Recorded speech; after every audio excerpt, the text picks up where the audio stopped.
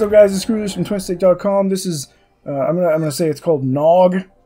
Uh, no, it, it kind of yells at you uh, when you first start the game. It's not Gnog, I'm pretty sure. Anyway, doesn't really matter. It's just a bunch of these these puzzles that make very little sense at all, uh, but they're fun and they're colorful and very cheery. Most of them are cheery, uh, and uh, the solutions are, are really they're they're just trippy, fun little things that, like I said, they just don't make any sense really. But there's sort of an internal story for each one. But mostly it's just click buttons until it works, um, and they give you little clues here and here and there on how to complete the puzzle. And um, you just have to you just have to sort of pay attention and, and do what it says.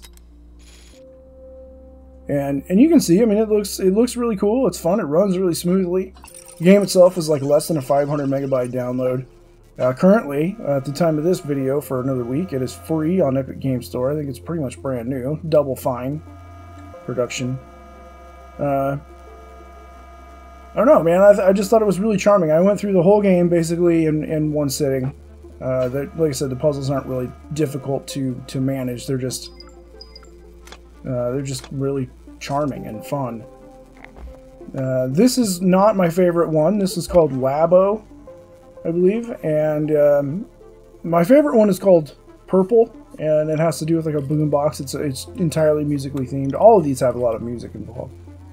Lots of just, it's very tactile. It feels like, um, what it feels like to me is like a, like a, like a toddler's toy, essentially.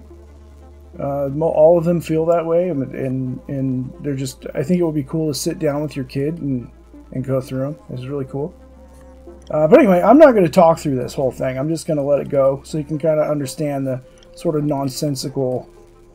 You know, as far as puzzles go, they're not really that puzzling. It's just a matter of, as I said earlier, just click buttons until everything works. Click and hold, and click and drag, and uh, and keep an eye on on clues as to how to solve things. And it's it's just it's interesting and it's fun. Uh, and right now, I said it's free, so I, I don't know what it'll be outside of being free. When it's not free, I don't know how much it'll cost. But anyway, doesn't matter. Just, uh, you know, I, would suggest checking it out. It's, it's just a fun, trippy, as I said, charming, musical, very colorful game. Anyway, thanks for watching. I'm gonna I'm gonna go. Just watch the watch the video. Bye.